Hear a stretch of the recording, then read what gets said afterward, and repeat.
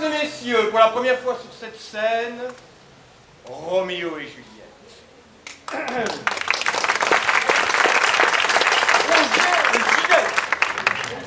Pardon. Roger et Ginette.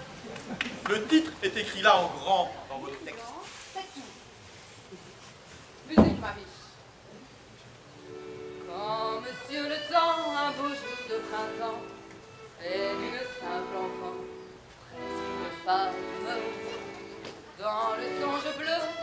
Avenir joyeux,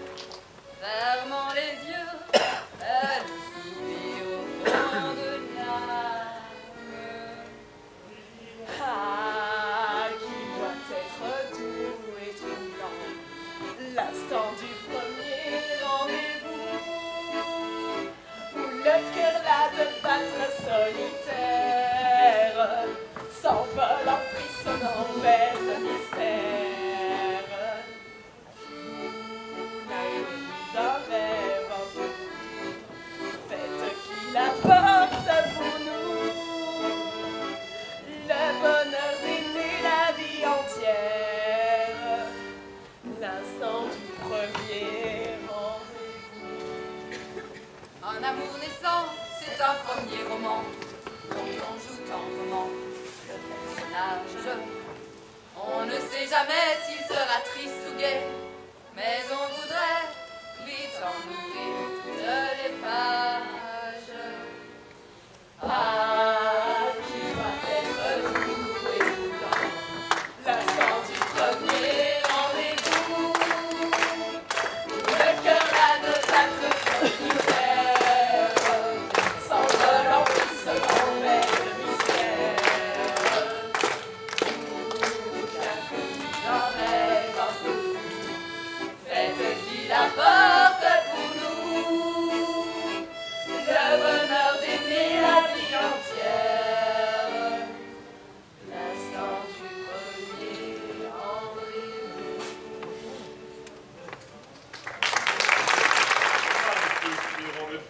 des lèvres disent plus aisément. Je, je m'en voudrais de n'en connaître euh, le récit. Mais viens par ici, ma belle. Je vais tout te conter en détail. Un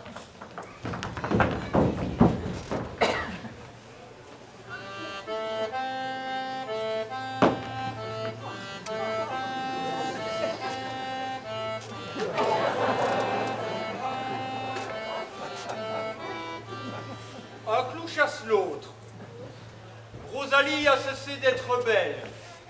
Le cœur de Roger bat maintenant pour Ginette.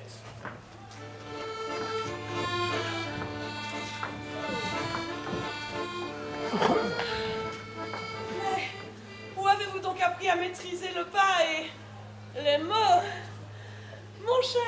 Roger Roger Blanchard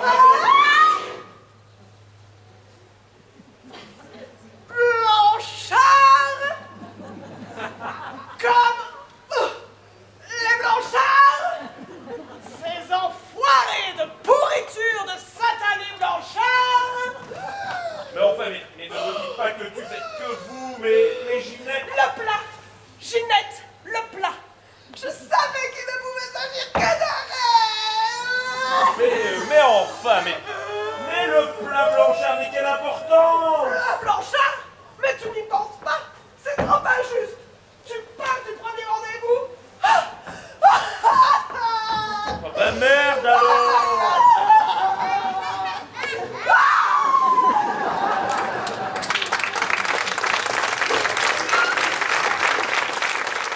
Si les attentions de ton amour sont honorables, si ton but est le mariage, Euh, Le ça alors je dépose à tes pieds toutes mes destinées et je promets, mon Seigneur, de te suivre jusqu'au bout du monde. Ginette, à table J'entends du bruit dans la maison. Vite, mon amour. Ah oui, oui, bon bah... euh, bon bah, euh, ok, c'est c'est d'accord. euh, bon, rendez-vous demain euh, derrière la mur, enfin, je veux dire, euh, pour euh, organiser le, le mariage.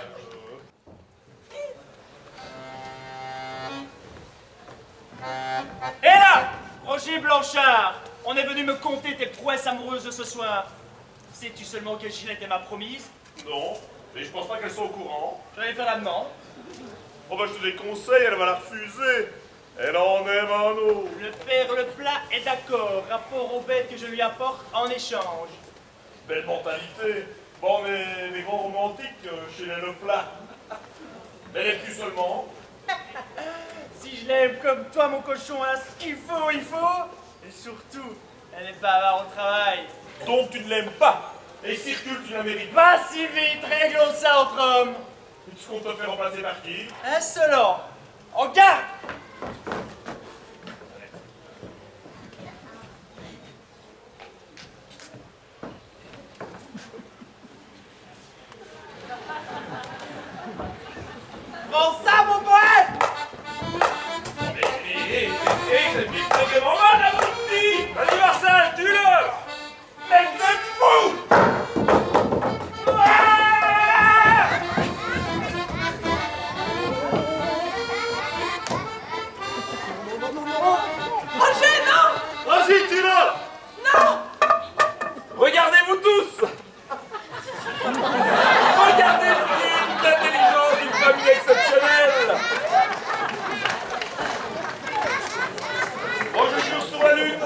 j'aime Ginette et qu'elle sera ma femme? Le docteur a préparé une potion qui permettra à Ginette de feindre la mort pendant quelques heures. Son ami Berthe ira prévenir Roger du subterfuge.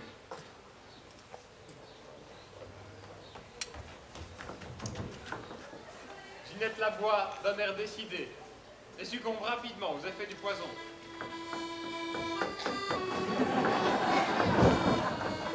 Roger arrive, Berthe a oublié de le prévenir du subterfuge. Il l'a trouvée tendue, il la croit morte, il tente de la relever. Arrive le père Leplat, qui croit que Roger a tué Ginette. Les deux familles s'approchent et sont paralysées en découvrant la tragédie. Pas le père Leplat, qui crie vengeance. Il poursuit Roger avec sa faute. Les autres tentent de les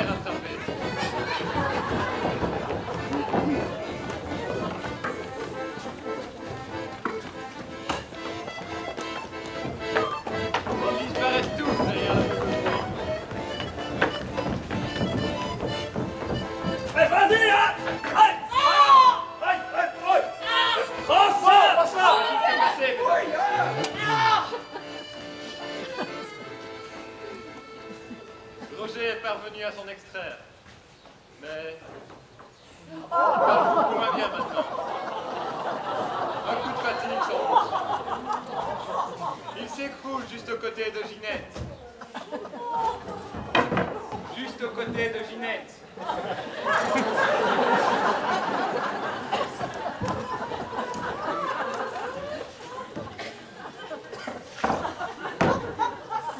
Mesdames et messieurs, je crois bien qu'il est mort. La pauvre Ginette se réveille enfin. On est en plein dans Shakespeare. La fin est proche. Préparez vos mouchoirs.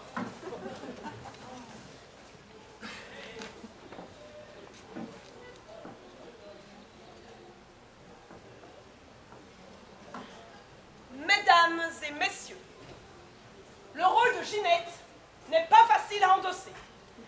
Vous en conviendrez. On sait tous que cette pauvre jeune fille n'est condamnée à ne connaître qu'un seul amour et à mourir aussitôt. Eh bien, moi, je ne suis pas d'accord. Je pense qu'on peut toujours se soustraire à la morale et à la tradition qu'on voudrait nous imposer. Moi, Ginette Leplat, je n'ai qu'une seule vie et je compte bien en profiter.